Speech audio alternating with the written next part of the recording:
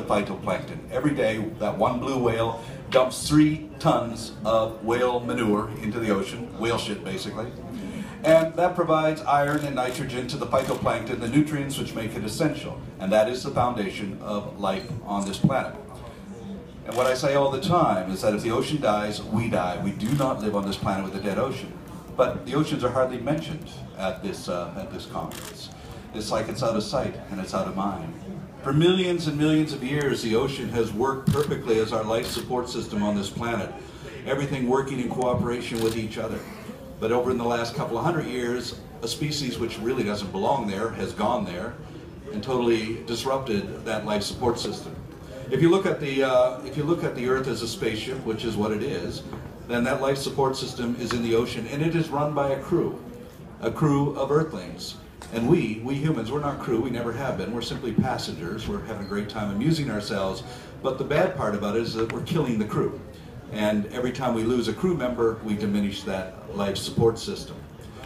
The Polynesian people, for hundreds of years, had a policy called taboo, that they would proclaim an area of the uh, of a bay or the island and that taboo. No fishing, no fishing for 20, 30 years.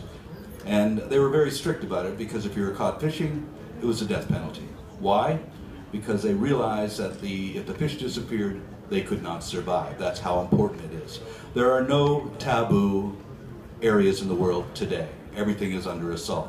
There are solutions to climate change, but these are solutions nobody wants to hear because everybody wants change, but they don't want to change. Uh, but they're solutions that nobody's talking about and will not talk about here. I've got three basic solutions. One, we have to allow the ocean to revive allow it to grow, re, you know, to, to replenish bio, biodiversity within it.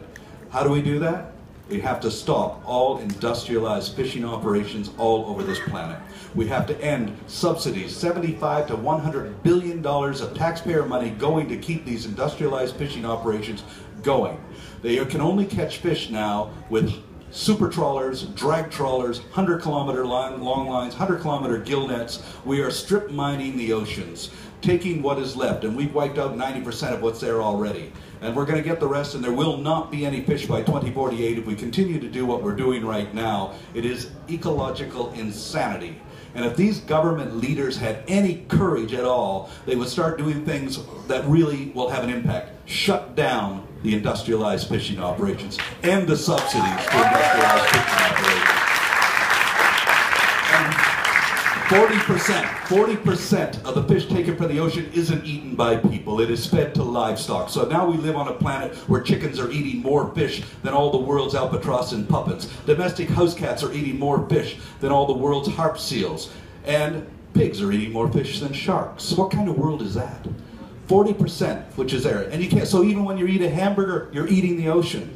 Which brings us to the next solution, which is we have to convert to a plant-based diet because there's simply no room on this planet for 7.5 billion meat-eating, fish-eating predators. You know, it is unnatural, and if we're going to have these numbers that we have, we have to realize that in prey-predator relationships, the predator should never outnumber the prey. And that is exactly what we put this position into. But nobody wants to hear that. They don't want to give up their goddamn hamburger to save the world. You know, it's a very difficult thing because we're addicted to meat. My ships have been vegan vessels for 15 years, vegetarian vessels for 25 years. You can survive. I mean, I'm a testament that you're not going to go waste away and die, you know. So the thing is, is that we that's the second solution. The third solution, this is the one that's really going to be difficult, is we have to abolish the goddamn military everywhere. We could feed every man, woman, and child, provide them with shelter and fresh water on this planet by getting rid of those military budgets. You know, it's absolute insanity. The ecological insanity of humanity is what we're talking about. If you want to survive, then we have to abide by it because no species lives on this planet outside of the three basic laws of ecology. The first is the law of diversity, that the strength of an ecosystem is within its diversity. The second is the law of interdependence, that those species are interdependent with each other. The third is the law of finite resources. There's a limit to growth, a limit to carrying capacity, and right now we're stealing the carrying capacity of all these other species, driving them into extinctions so we can increase not only our numbers, but our material consumption. And we live in a world where poor countries want to be rich and rich countries want to be richer. when we in fact should be going the other way. My generation, I was born in 1950, the population of the world was 3 billion, now it's 7.5 billion. We lived in a time that had the greatest material wealth and the greatest freedoms. And that will no longer be the case because our numbers make that now impossible. No generation after us will have what we had over the last 65 years because we've wasted it, we've used it, we've you know, we turn it into plastic, we throw it into the oceans. We're killing the oceans with plastic, with sonic noise. We have to end this insanity. And it can be done, but we have to have the courage.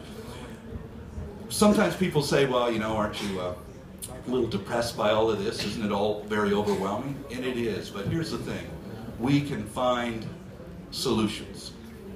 It might seem impossible, but sometimes the only solution is an impossible answer. How do you find that impossible answer? Through courage, imagination, and passion. 1972, the very idea that Nelson Mandela would be president of South Africa was unthinkable and it was impossible, yet it happened. So that is proof that the impossible can become possible. And therefore, I believe that, well, first of all, we don't have much choice. We either find a solution or nature will find the solution for us and we will go extinct. The good news is the Earth will survive. But uh, that's not very good news for humanity. So if we're going to have a future, civilization is going to continue to exist, we're going to have to find that answer. And here's the thing. The answers will be found within the indigenous peoples of the world. Why? Because they have that biocentric point of view which we have long lost. We've replaced it with our anthropocentric madness, this understanding that we, or this belief that we are the center of creation. It was all created for us. We even create gods that say that they created us in the, their, their image, when in fact, it's all just fantasy. Anthropocentric human beings live in a world of fantasy. Not just video games, but religion and economics. It's all just fantasy. The real wisdom on this planet lies in the Amazon. It lies in Polynesia. It lies in the outback of Australia. And once that is lost, we, as a species, will be lost forever. Thank you.